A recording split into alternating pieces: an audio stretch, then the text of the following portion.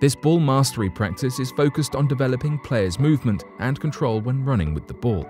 The objective is for the attacking players in yellow to successfully dribble through the middle third into the opposite end without the defender winning the ball.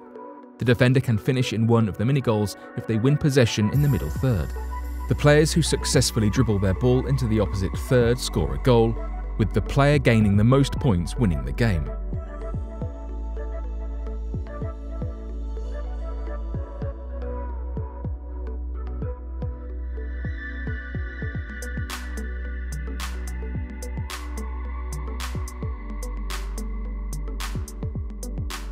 We can increase challenge by adding a second defender in the middle third. This will of course mean attackers have to be smarter and quicker in their actions to break through the central zone.